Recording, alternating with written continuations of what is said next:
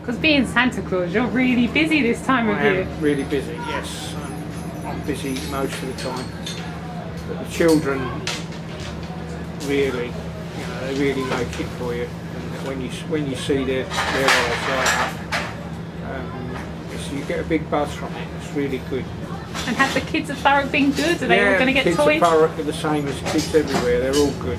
And there's going to be no coal this year. No, no, they're all good. The children. Uh, some of them are are really sparkly.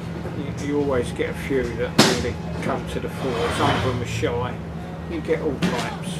And I've seen you've been giving loads of wish Uh, dust as well. that's, What, uh, explain about that's that. one of my own. Only Santa, the real Santa, has got the magic dust. Because loads of children I've seen them walking about and they're holding onto this dust really tightly. So what do they have to do once they get it? It's, it's wishing dust. You put it in the palm of their hand and tell them to then close their hand and wish really strongly for all the things they want. And if they wish really hard, then there's a good chance that all those things will come true. And have the elves been good this year? Have they been busy? Uh, they're a bit mischievous, a bit lazy at times. Um, I phoned them a couple of times tonight. I've got my my special Santa's elf phone, which is my mobile.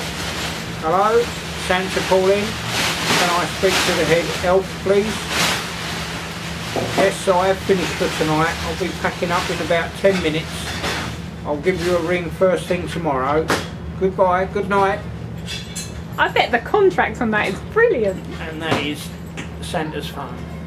And how about the reindeers? Tell us about that. Is The Rudolph? reindeer, they're all in special? training at the moment because they only work one night a year and they have to be really, really fit. This is my mascot that I carry with me. And sometimes children ask me and they want to see Rudolph. So I have this with me to show them. But he's only a mascot. The real Rudolph, because they only work one night a year, they're in training nearly all the time. Because it's a very busy day, isn't Very it? Very busy. We have to get all round the world that night. Very, very busy. So Thurrock's going to be full of presents It and will be. Thurrock is one on top of the list. Thurrock gets their delivery quite early, so I've told all the children to make sure they go to bed early, go to sleep early, then I can do my deliveries and it won't hold me up. And am I on your good list? You are, you are everybody's on my list.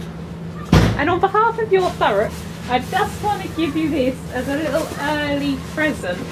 There you go, it's a mince pie. Another mince pie. I know, isn't it good? I- It's full of magic. I've asked the children this year for a change to leave me a pork pie, A pork pie. only a small one. Is that Santa's request? And Ra- and Rudolph and his friends have asked if they could have a parsnip instead of a carrot for a change. So a pork pie and a parsnip. Yes, please, this year.